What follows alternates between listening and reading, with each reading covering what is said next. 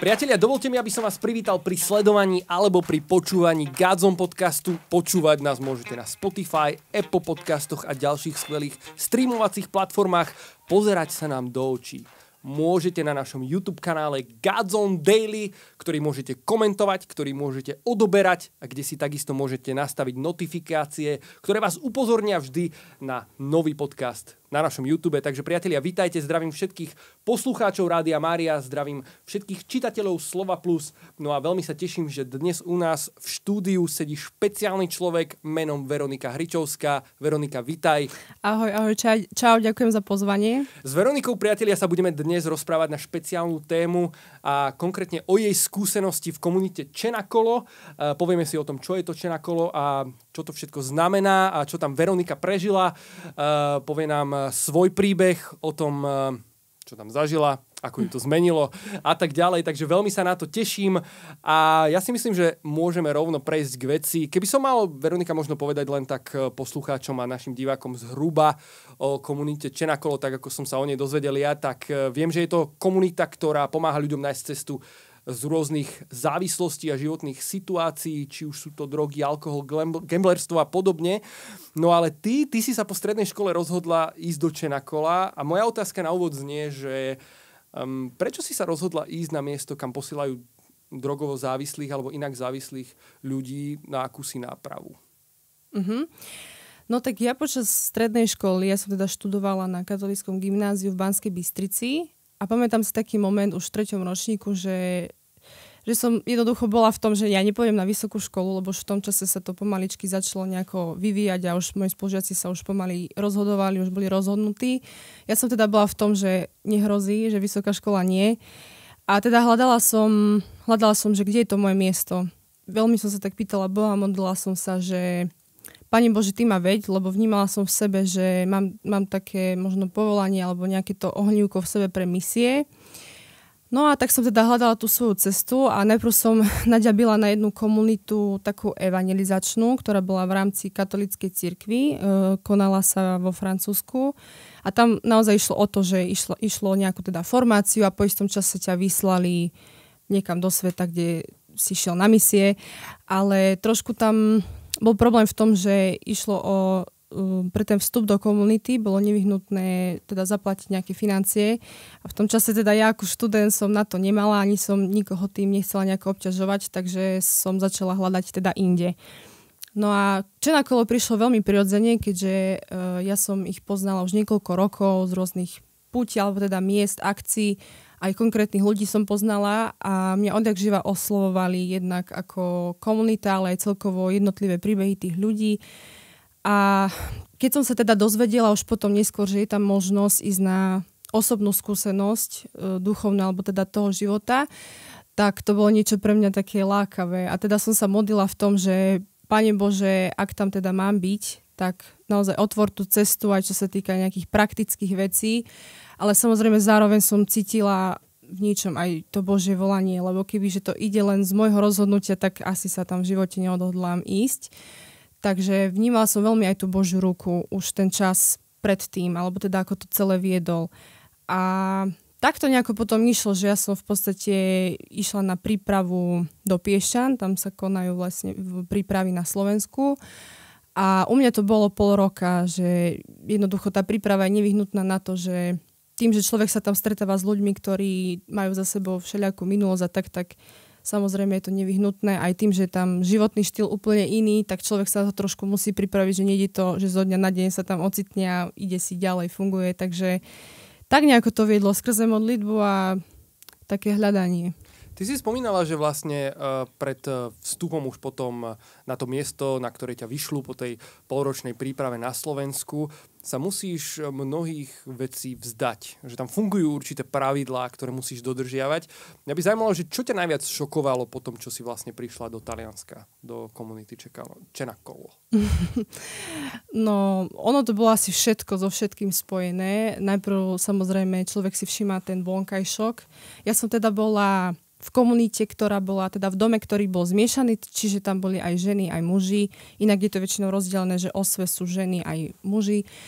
A prvotným šokom bolo, že človek tam dostane v podstate akože rovno šatu, ale napríklad my ženy konkrétne tam chodíme celý čas v sukni alebo teda v šatách, čo je pravidlo, ktoré má napomoc tomu, aby tie ženy tam si uvedomili naozaj svoju hodnotu, identitu, lebo častokrát tam prichádzajú z prostredia, kedy boli zneužívané sexuálne, prostitútky, jednoducho naozaj ťažké osudy sú tam a príbehy, čiže toto je napríklad taký prostriedok.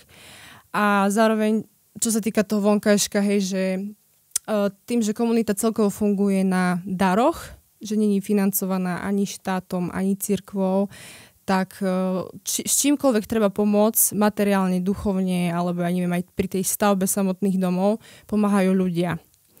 No a stalo sa veľakrát, že bola situácia, že, že naozaj, keďže sme boli závislí na tých daroch, tak napríklad to jedlo nám neprišlo, hej, a že jednoducho si tam v ohľade, ohľade ale zároveň to človeka podľa mňa veľmi buduje, keď, keď dá tomu taký priestor a že naozaj je len zameraný na to, že, že ti nejako škvrka teda v bruchu, aj keď samozrejme je to náročné prekonať to, to svoju telesnú schránku, ale že, že naozaj podľa mňa tým vonkajškom, keď človek dá priestor, či už aj my to poznáme možno postami alebo tak, tak ten duch sa veľmi buduje a naozaj to človeka mení aj vnútorne, aj tak charakterovo, že zrazu je to jednoduchšie potom pre neho sa niečoho zdať alebo nemať možno také kvantum alebo tak. Čiže, čiže aj toto bol šok a jednoducho tam bolo toho veľa, ale potom ďalšia vec napríklad bola taká, že čo sa týka toho fungovania tam, keďže Čenakol má také princípy, že naozaj to postavené na, na modlitbe, nechodia tam žiadni lekári ani žiadni špecialisti.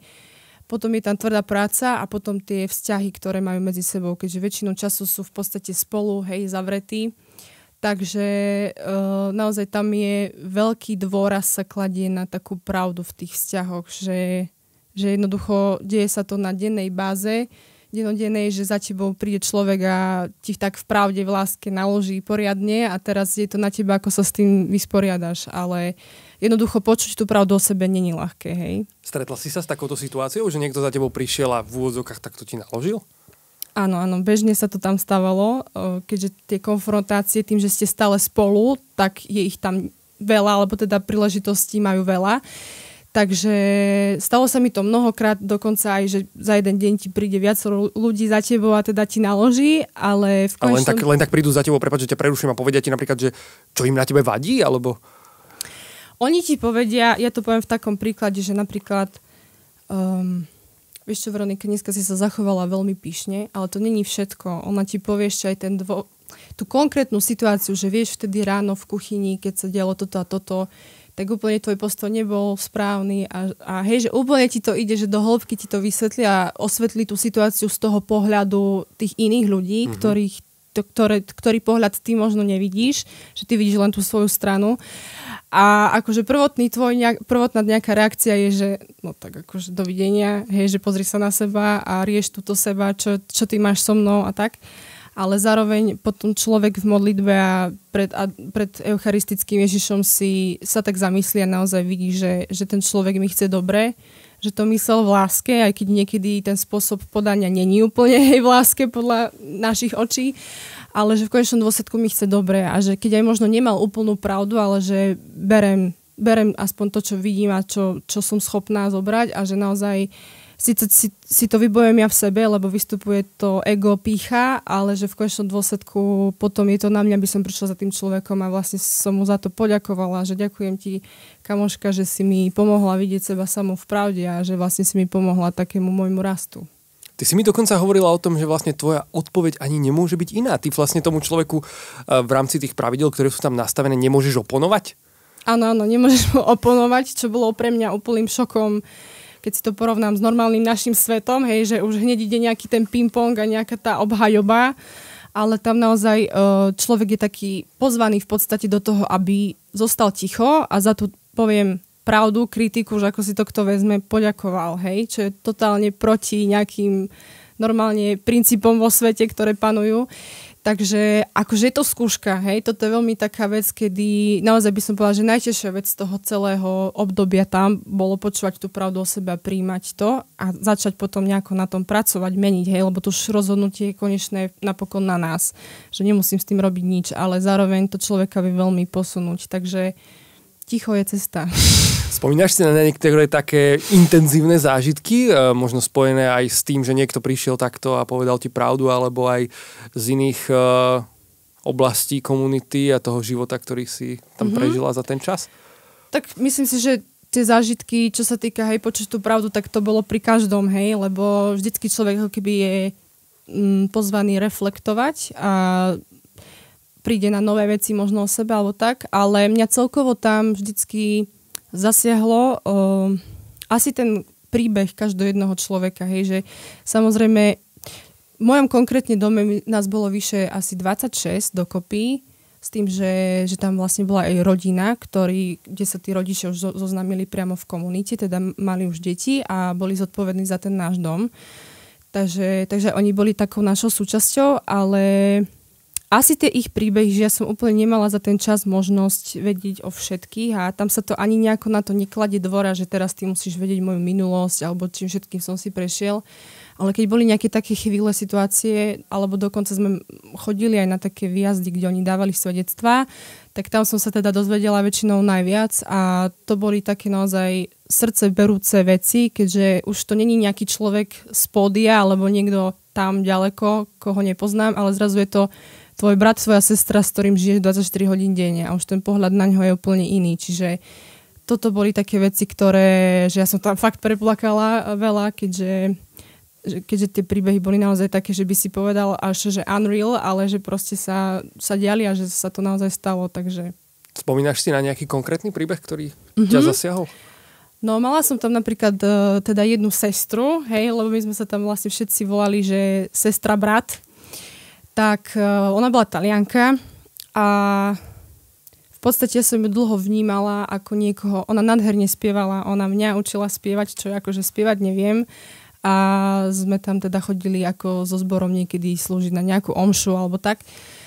No a ona mala nádherný hlas, že človek si vieš tak povie na prvý pohľad, keď ju vidí, že no tak baba mala pekný život, že určite musela chodiť na nejaké konzervatórium alebo niekde a ona vlastne bola totálna bezdomovkyňa v minulosti. Bola na tom až tak zle, že, že keby, keby vtedy nestúpi do komunity, kedy vstúpila, tak ešte mesiac vonku a ono, že mŕtva, že bola na tom tak zle.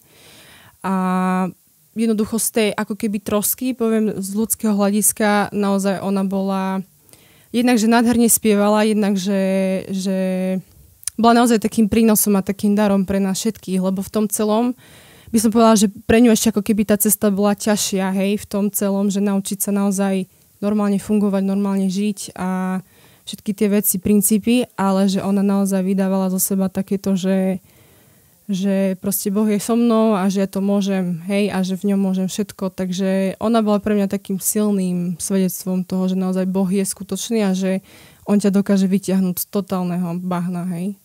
Ty si spomínala, Veronika, že uh, ešte predtým, než sme sa rozprávali pred nahrávaním, že v podstate, keď si tam išla, tak si sa musela nejakým spôsobom vzdať aj uh, nejakého spojenia s blízkou rodinou alebo nejakého kontaktu počas toho času, ktorý vlastne budeš tráviť v rámci komunity. Čo to prakticky znamenalo? Že nemala si prístup k internetu, k mobilu? Ako to vyzeralo? Áno, áno, v podstate sa to... Áno, dá sa to prirovnať k nejakému takémuto väzeniu, keďže človeku tam odoberú normálne telefón a teda nemá žiadny prístup vôbec k nejakým sociálnym sieťam, k mailu vôbec. Uh, ono, najprv sa to človeku zdá, že no tak toto nedám ani, ani náhodou, ešte zvlášť, keď je zvyknutý na ten kontakt, ale ja som to potom brala ako veľmi oslobodzujúce a naozaj, že to, je to ako keby taký nevyhnutný krok na to, aby človek tam to mohol v plnosti všetko prežívať, hej. Nebali sa o teba rodičia? Určite sa báli, myslím si, že pre rodičov to bolo oveľa náročnejšie ako pre mňa, ale ja som akože mala také, hej, že po mesiaci mi mamina zavolala normálne tam na pevnú linku a to mi dali, lebo teda mi to dali na pár minút, že dobre, zavolaj si s ňou, lebo sme tam potrebovali niečo riešiť. A akože bolo to veľmi divné, lebo tak bežne s maminou volávaš častejšie, nie že po mesiaci dvoch, takže, takže to bolo pre mňa také milé vtedy, ale ono v konečnom dôsledku tým, že ja som tam bola tie tri mesiace iba, alebo až, uh, tak sa to dá zvládnuť, hej. Samozrejme, prídu chvíle, kedy to náročné, ťažké, kedy by človek mal, ten, mal rád kontakt, ale zároveň e, je si vedomý postupne toho, že, že je to nevyhnutné preto, aby naozaj v plnosti tam mohol všetko žiť, prijať ako je a že, že naozaj je to také oslobodenie. Sa. Dalo by sa možno povedať, že tie naozaj veci sú nastavené celkom drasticky aj vzhľadom na to, že tam prichádzajú ľudia, ktorí sa chcú dostať z rôznych závislostí a ty si spomínala v podstate, že aj keď tam prichádzaš ako misionárka, tak ste ako keby na nejakej takej že rovnakej úrovni spolu vlastne všetci? Že ty nemáš Áno. nejaký iný mm-hmm. režim, ako majú tí ľudia, ktorí prichádzajú hľadať pomoc? Áno. Ja som tam v podstate bola uh, v takomto nejakom rozpoložení, že idem tam na nejakú skúsenosť, ale vedela som, že teda ja nie som ničím teraz viac alebo lepšia, že to, že som nemala nejaký vyslovene problém s tým alkoholom, drogami alebo inými závislosťami, to neznamená, že ja som teraz niekde na desiatom leveli a oni sú ledva na prvom, hej, že naozaj človek tam príde a možno toto pozadie vie len ten ako keby zodpovedný dom alebo ten, kto je zodpovedný za teba. Ale my všetci ostatní sme tam vlastne na jednej úrovni, že ani ja neviem o všetkých, že kto mal s čím problém a ani to v konečnom dôsledku tam vôbec není dôležité, hej. A ja som si naozaj uvedomila po čase tam, že že častokrát naozaj my sa tak na to pozeráme, že no tak tento závislý, hej, že tak má problém, hej, a alkohol a droga, ale že v konečnom dôsledku toto není problém, že toto bol len prostriedok, kedy oni jednoducho nemali to šťastie, nespoznali Boha a hľadali ho v týchto veciach. A kdežto ja som to šťastie teda mala, ale naozaj, že, že človek si tak uvedomí, že v mnohých oblastiach a veciach má pocit, že častokrát na tom horšie ako oni, hej. Takže vôbec ťa to nejako to, že ty si na alkohole závislý, ty na drogách, tak ty si lepší tam, ty horší vôbec, že všetci sme v jednom, na jednom, na jednom leveli a kráčame spolu k lepšiemu, verím. Veronika, čo ti najviac chýbalo počas tých troch mesiacov, ktoré si strávila v tejto komunite? tak veľmi tak polopati poviem prvé, čo tak jedlo ale tým, že naozaj tam to fungovalo na tých daroch a no nie, nie vždy si, si zmysel ako to, že no tak idem do chladničky a čo si dneska dám, hej, že tam takýto výber určite nebol. Vždy to teda záviselo od toho, čo vám kto daroval. Áno. Áno. A to bolo vlastne v ponuke. Áno. Áno, ale tak diali sa tam, mali, mali sme aj také veci, kedy napríklad, čo sa týka hlavne mliečných výrobkov, jogurtov alebo takýchto vecí, že že už boli, teraz to tak vyznie veľmi, že Pani Bože, ale že už boli mierne po záruke, hej, a že vlastne my sme ich dostali ako dar, či už z toho nejakého obchodného reťazca alebo tak. A v podstate sme dostávali len takéto, takýto tovar po záruke, ale on bol vlastne dobrý, hej, že to, že ty máš dva týždne niečo po záruke alebo týždeň, to neznamená, že to musí byť hneď zle. Čiže, čiže takto nejako sme fungovali a to jedlo bolo také, hej, že ja som, sa, ja som dokonca potom dospela do štádia, to nie som teraz nejaký, že trpím hriechom obžerstva, ale že, že naozaj um, do toho štádia, kedy mne sa snívalo, hej, o nejakých, ja neviem, palacinkách alebo čom, to bolo veľmi smiešné. Ale samozrejme potom to bola rodina, hej, a kamaráti a proste tie vzťahy, tak to asi každému chyba, keď je taký odlúčený. Nemala si niekedy taký pocit, že chceš ujsť? Určite áno, ja som dokonca mala plán úteku niekoľko.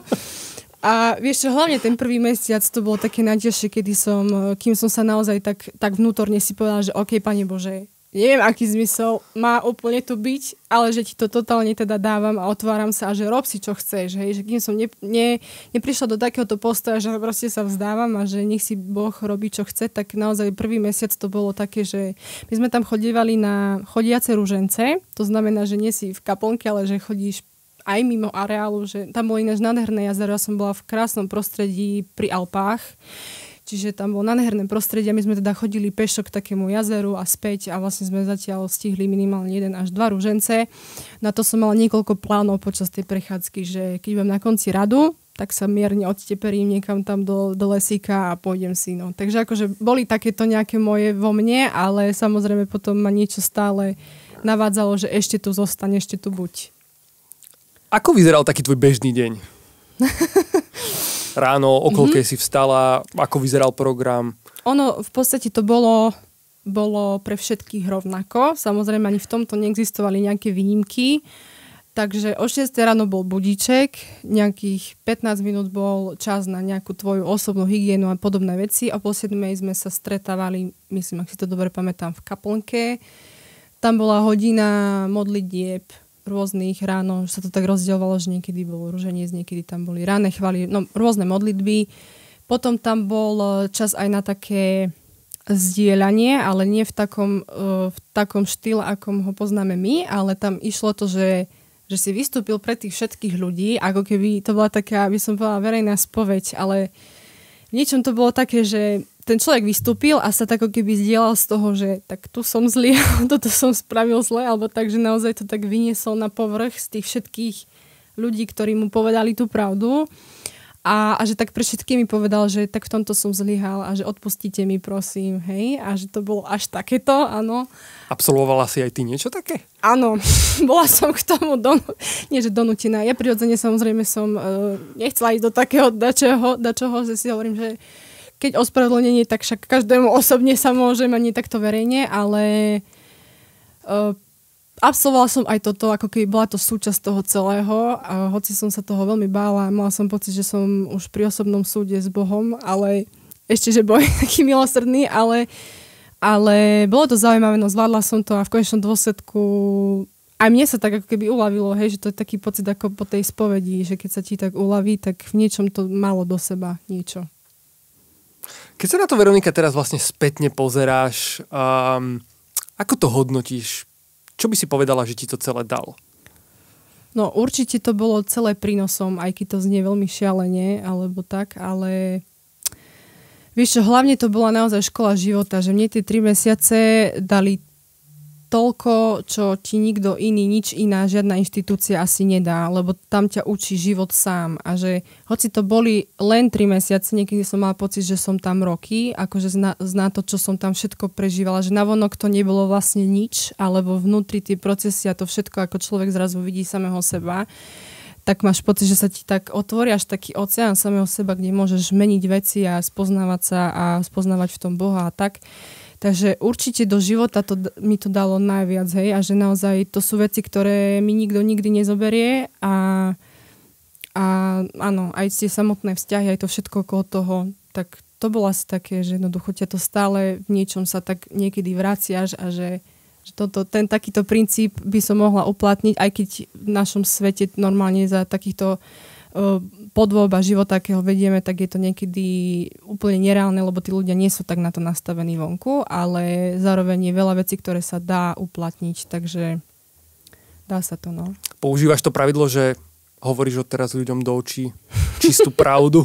no to by som asi už nemala žiadnych kamošov. uh, vieš čo, tak spätne uh, si uvedomujem, že naozaj je láska a tá pravda. A niekto je pripravený počuť tú pravdu a niekto nie. A potom závisí odo mňa, nakoľko aj, aj od toho momentu, aj od toho nastavenia tej situácie, že nakoľko je to teraz moment, kedy dobre poviem ti tú pravdu a kedy to radšej nechám na inokedy, lebo niekedy je lepšie to byť proste ticho, hej, ticho je cesta a radšej jednoducho toho človeka milovať. Ale samozrejme zase tú pravdu treba vždy nejakým spôsobom povedať, dať najavo, lebo myslím si, že o tom je ten vzťah, hej, taký pravdivý a o tom, že naozaj mám rada toho človeka, pretože nie, že teraz mu idem tuto nejaké rúžové nebíčka hovoriť o ňom alebo tak, ale že naozaj v láske ho chcem aj ja nejako posunúť. Len treba si rozlišiť ten čas, že kedy a ako, akým spôsobom, to je veľmi dôležité. Veronika, ešte tak čisto prakticky, ako to bolo vlastne s taliančinou? Ty si v podstate absolvovala tú polročnú prípravu, nevedela si do akej komunity vlastne v akej krajine ťa pošlu. Uh, dozvedela si sa to pravdepodobne teda na nejakú poslednú chvíľu, vedela si po taliansky predtým, než si prišla do Talianska a nebala si sa toho, že nebudeš vedieť s tými ľuďmi komunikovať, prípadne, že si teda taliansky nevedela ešte? Uh-huh. Uh, komunita je nastavená tak, že je jedno, kde ťa pošlo, všade je taliančina. Čiže môžeš byť kľudne aj vo Francúzsku, v Amerike, všade sa komunikačný jazyk je taliančina. Okay. Uh, ja som inklinovala od, odjak živa, hej, k Taliansku, k Taliančine a v podstate už pred komunitou mám aj v rodine vlastne Taliana, takže to bolo v niečom jednoduchšie, ale samozrejme to neznamenalo to, že teraz viem. Hej, po taliansky samozrejme mala som nejaké základné veci, asi ako ty, hej, naštudované, ale išla som teda naozaj s tým, že, že viac menej ruky, nohy budú fungovať a v komunite to funguje tak, že ty keď, e, ty keď vstúpiš do komunity, tak ti dajú e, nejakého človeka, ktorý je s tebou stále. Teda prirodzene to bola u mňa Slovenka, ďalšia, ktorá tam bola a ona jednak mi prekladala a jednak ma nejako tak uh, pomáhala mi do toho života nejako vstúpiť a chápať aj tie veci, aj tie pravidlá. Takže tak, no a potom postupne mi šla pekne na nervy, jednak tým, že bola veľmi pravdivá a jednak tým, že my ako Slováci sme veľmi takí, že pravidlá a štruktúry a ideme si. A mne to šlo strašne na nervy. Takže ja som hlavke mala, že je mi jedno, ako budem rozprávať, budem možno ako talianský Maďar, ale idem rozprávať. A po dvoch týždňoch som sa pomaličky rozbehla. A, a vlastne ja z tohto času komunitného, čo sa týka taliančiny, ťažím doteraz, lebo tam naozaj tá taliančina mala vo mne také, že som sa tam naozaj naučila rozprávať, že hovorím o tej teda komunikačnej rovine, lebo človek je tam nutený aj povinný rozprávať stále s niekým a to je podľa mňa najlepšia škola pre jazyk. Čiže aj potom, hoci som študovala, ale určite mi to nedalo toľko ako komunita. Čiže najlepšie byť hodený do vody ano. a plávaj, nauč sa. Áno, áno, určite áno. Čo sa týka jazyka, tak uh, myslím si, že to je najlepšia cesta. Hoci nie každý je na to tiež na, pripravený, takže... Veronika, možno nás práve v tejto chvíli sleduje alebo počúva veľa mladých ľudí, ktorí možno rozmýšľajú o tom, že by chceli ísť na misie, že by chceli absolvovať nejakú skúsenosť z nejakej komunite, či už na Slovensku alebo v zahraničí, či už možno ako ty medzi strednou a vysokou školou. Um, povzbudila by si ich, aby absolvovali skúsenosť v komunite Čenakolo? Mm-hmm. Určite áno. Ja by som pobyt v komunite, alebo teda celkovou tú formáciu odporúčila úplne, úplne, že všetkým. Hoci je pravda, že nie každý je úplne na to nastavený, že, že naozaj treba ako keby si vedieť tak v sebe rozlíšiť to, že, že aký som typ a že, že možno niekto je taký viac extrovert, introvert, že naozaj uh, ten, ten život tam, ja keď som teda vstúpila, tak nevieš, hej, že čo ťa všetko čaká tak a objavuješ ten život každý deň, že nedá sa to povedať, že teraz ja to nejako zvládnem alebo dám na taký a taký čas, že treba naozaj si to vyskúšať a každá skúsenosť každého jednotlivca je úplne iná, ale určite pre každého by to malo, malo zmysel a myslím si, že by to prinieslo veľa ovocia. Už je to potom na každom, že či, či by bol ako keby na to pripravený, alebo či je to spôsob, ktorý je pre ňo. Ty si konec koncov vlastne bola ešte rok potom áno. E, v ďalšej komunite. Áno, áno, áno. To som vlastne minulý rok takto bola. Áno. No, uvidíme, ako všetko je teraz také otázne, ale ja to nevylučujem, že, lebo mám takú tendenciu, že každé dva roky sa ocitnem v Taliansku, takže rok 2002 uvidíme, čo prinesie. Hej, no, to, čo spomínam, že Taliansko minul, teda tá posledná moja nejaká skúsenosť, tak e, to bolo zase v hnutí v okoláre. To sa vždycky sviem, že ak ľudia náhodou rozmýšľajú o nejakej, nejakej, nejakom vstupe do komunity hnutia, tak kľudne ma kontaktujte, vám poviem, lebo... Ano. V popise tohto videa nájdete kontakt na Veroniku. Áno, áno, to bola ďalšia bohatá skúsenosť, kedy som sa tam ocitla tiež v podstate ani neviem ako, že to tak Boh celé viedol a... Bola to iná skúsenosť, keď to porovná s Čenakolom, že v niečom úplne iná a v niečom totožná v tom, že, že naozaj človek tam bol v kontakte s ľuďmi. Konkrétne toto ale bola skúsenosť, kde, bolo, kde boli ľudia totálne že z celého sveta. A v podstate ja som bola vo formácii pre mladých ľudí, hej, že niečo ako je to, je to v rám, ja som bola v rámci takej formačnej školy, Gen, Gen škola, a, kde sme boli mladí, ale zároveň v tom mestečku Lopiane boli formácie nielen pre nás mladých, ale pre kňazov, pre zasvetené osoby, pre rodiny s deťmi. Čiže to bolo ako keby v rámci celej cirkvi možnosť nejakého rastu a formácie pre všetky typy a povolania. Hej. Čiže nás dokopy tam bolo vyše 900. Wow. Konec koncov. Veľká škola. Áno, Áno, a veľká, veľká bohatá skúsenosť, že naozaj doteraz, uh, doteraz ja mám v podstate, to beriem tak, že rodinu po celom svete, lebo naozaj medzi nami sa vytvorilo niečo také, čo také až puto, ktoré ale Boh robil, lebo myslím si, že to není úplne v ľudských silách. Takže hoci ja teraz uh, ako keby nepokračujem v tom duchu, alebo teda v tej spiritualite, ale zároveň z toho tiež čerpám doteraz a hlavne čo sa týka tých vzťahov a kontaktov, tak to mi dáva najviac. Veronika, náš čas sa pomaličky chýli ku koncu. Ja mám pocit, že by sme sa dokázali rozprávať ešte ďalšie dve hodiny. Myslím si, že určite. Bolo by asi o čom. Bolo by určite o čom. Um, ja v tejto chvíli by som ti položil aspoň dve otázočky, ktoré ešte máme na Instagrame od našich sledovateľov. A priatelia, vy sa môžete na každého hostia, ktorého máme tu v podcastoch pýtať vždy nejaký deň, dva predtým, než natáčame. Túto informáciu dávame von na našom Instagrame Gadzone.sk, takže ak ho nesledujete, určite ho sledujte a budete tak možnosť, teda mať možnosť pýtať sa našich hostí. Veronika, dve otázočky na teba. Prvá, ktorý príbeh eh, z Čenakola je pre teba, že najsilnejší? Mm-hmm. No, to bol asi príbeh z Čenakola. Mala som tam jednu teda sestru, keďže my sme tam boli sestry bratia Talianku, o tom som už spomínala, už som to spomínala teraz. Hovorila si o tom, že spievala vlastne? Áno, áno, áno. Ona vlastne bola bývalá bezdomovkyňa a bola na tom až tak zle, že keby nevstúpila v tom čase do komunity, tak ešte nejaký čas vonku, keby bola, tak proste zomrie. Hej, že reálne bola na tom veľmi zle a ona naozaj v tej komunite tak uh, tak sa odovzdala naozaj Bohu a tak rastla, že to bolo veľkým pozbudením, myslím si, že nie len pre mňa, ale aj pre, pre všetkých tam ostatných. A... Vidieť tú transformáciu, mm-hmm. to, čo Boh robil vlastne. Áno, áno, áno, aj to celkovo, čo ona v sebe tak nejak niesla, tak to bolo veľmi také mm. inšpirujúce.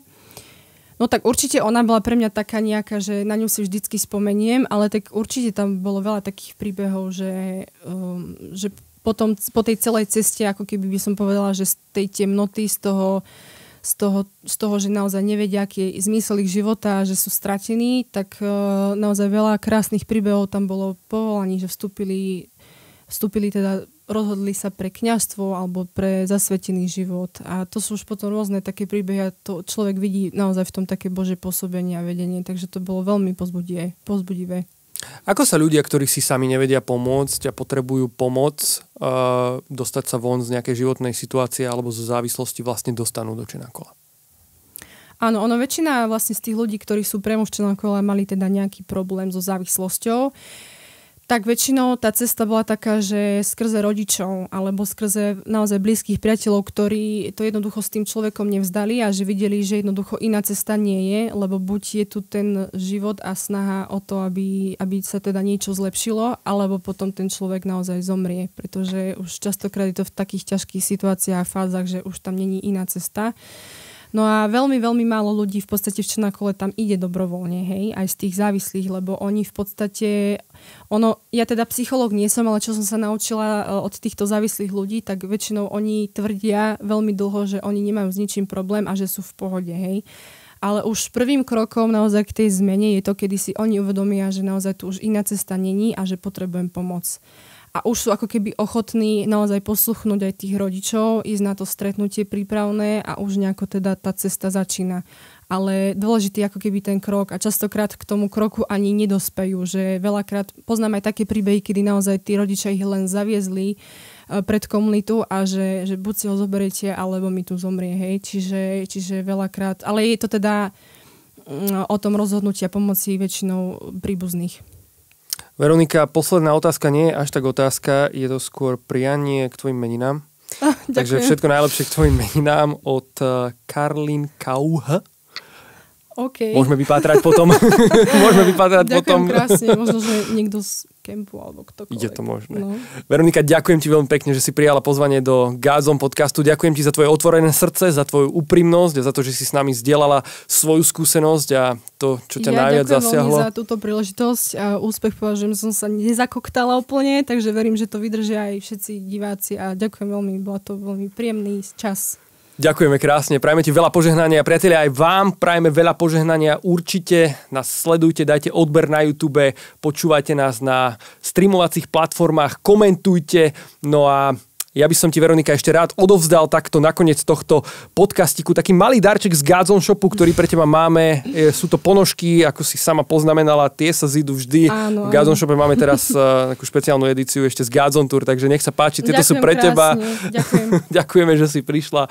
Priatelia, a vidíme sa pri ďalšom Gázom podcaste. Dajte nám feedback, dajte nám spätnú väzbu a my sa na vás tešíme na budúce. Majte sa krásne. Ahojte. Čaute. Ďakujeme, že si sledoval toto video. Odber nášho YouTube kanála ti zaručí, že už ti žiadne z našich videí neújde. Ak chceš podporiť celoročnú službu projektu Godzone, môžeš tak urobiť prostredníctvom QR kódu na obrazovke. Ďakujeme.